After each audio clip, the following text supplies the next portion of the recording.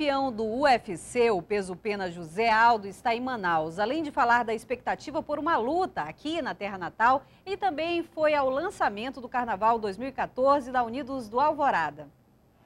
No octógono, ele é rei, 25 anos de idade, 6 anos invicto. Na última disputa, manteve o cinturão de campeão do UFC na categoria peso-pena. Mas a luta rendeu uma lesão no pé de José Aldo, que passa por um período de recuperação. O lutador voltou à terra natal para rever amigos, familiares e para ser homenageado pela Escola de Samba do Coração. Em 2014, a Unidos do Alvorada vem com o enredo José Aldo, Prata da Casa casa Ouro do Mundo. A comunidade do Alvorada já estava esperando há três anos e conversamos com ele, ele aceitou e eu quero agradecer aqui de público a você, José Aldo, Tenha certeza que a Unido da Alvorada vai preparar um grande carnaval para você. O lançamento do samba de enredo é hoje à noite no Alvorada, zona centro-oeste de Manaus. E dá para imaginar um lutador do UFC sambando no carnaval? Só vou mexer ali no estilo gringo, só no dedinho ali mesmo para cima, que o pé tá, tá dando um pouco ainda quando eu piso, então sambar eu não garanto não. E além do carnaval, uma outra notícia mexeu com os torcedores amazonenses. A maior expectativa agora é sobre o anúncio feito de que em 2014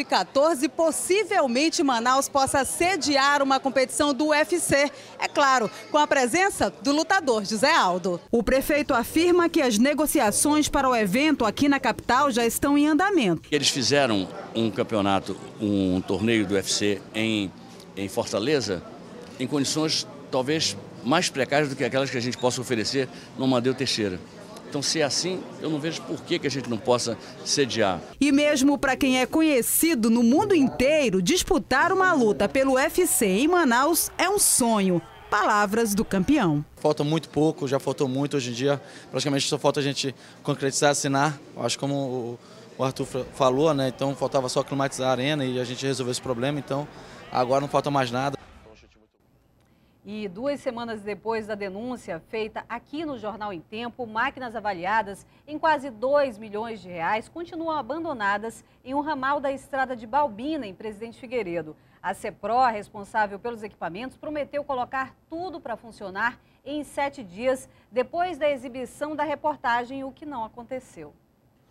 Andando pela estrada de barro, Marivone e a filha Tainá vão a caminho de casa como por aqui não passam ônibus ou carros, a menina não vai à aula tem mais de duas semanas. O menino dela também está faltando aula justamente por causa que no ônibus não entra, nem come nada. Dayana até vai à escola, mas precisa acordar ainda na madrugada. Aí nós chega lá, às vezes o ônibus não vem, a gente vamos lá para fora, o ônibus não vem, nós volta de novo, sem tomar café. E acordar de madrugada para estudar parece ser regra por aqui. Eu saí daqui 5 e meia, ia lá para fora e o ônibus não, já tinha passado. Várias vezes isso aconteceu. Aí eu conversava com o diretor e não, fiz, não faziam nada. A rotina de Tainá, Dayana e Vitória seria melhor se a estrada do ramal do Cristão, no quilômetro 32 da estrada de Balbina, recebesse melhorias. Aqui o acesso até a rodovia é difícil. Buracos e lama estão em quase toda parte. Quem depende desses acessos para escoar a produção reclama. Dia de sábado eu saio daqui 4 horas da madrugada, puxando essa, essa produção num boi, porque carro nenhum entra aqui. A situação dos moradores desse assentamento do INCRA foi mostrada no Jornal em Tempo do dia 31 de julho.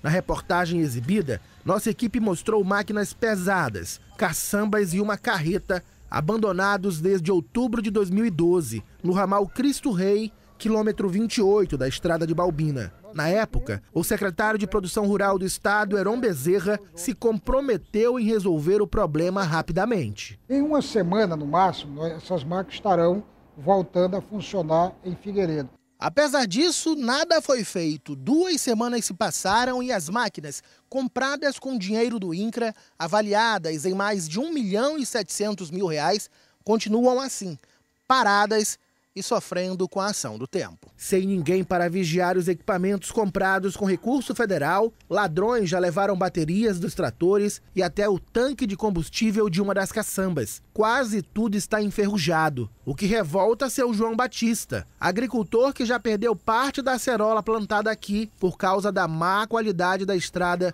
que não serve para escoar a produção. Ali tem que perdendo mandioca porque não tem como tirar. Nós estamos abandonados. Ramal aqui está despachado. Este agricultor também reclama. Ele deixou de fazer farinha porque não tem como levar o produto para a sede do município. Eu passo lá e vejo assim, aqueles, aquelas máquinas lá paradas, eu não conheço. Então, para mim, é um enfeite lá, aquelas não servem de nada. Com dificuldade, seu Leonel, aos 71 anos, anda por um dos ramais. Ele também quer melhoria. A gente conversa com, com, com as pessoas que têm condição de fazer, eles prometem, mas não vêm. É isso que está acontecendo com nós aqui. Você pode ver a situação que nós estamos passando aqui. Melhorias que Maria não vai mais esperar. Ela decidiu deixar o assentamento com a família. Vamos embora. Não aguentou o ramal? Não aguentei. E nem vou aguentar, porque a gente quer a melhora, né? A gente não quer o sofrimento. Enquanto isso, a solução para o sofrimento desses moradores está em um dos ramais, sem uso. O pessoal aqui está cansado já de sofrer. Cansado mesmo. O escoamento você não vê escoamento de, de produto nenhum, porque não tem condição. O carro que entra não sai. Em nota, a Secretaria de Produção Rural do Estado informou que o prazo de sete dias dado pelo secretário à nossa equipe não pode ser cumprido porque as máquinas mostradas na reportagem são chinesas e de difícil manutenção. A CEPRO informou ainda que as peças necessárias para colocar os equipamentos para funcionar já foram compradas e em 15 dias vão começar a trabalhar nos ramais de Balbina. Já a Secretaria de Educação e a Prefeitura de Presidente Figueiredo não se pronunciaram sobre a reportagem. Essa edição do Jornal em Tempo para a Internet fica por aqui. Muito obrigada por nos acompanhar e a gente se vê na próxima edição. Até lá!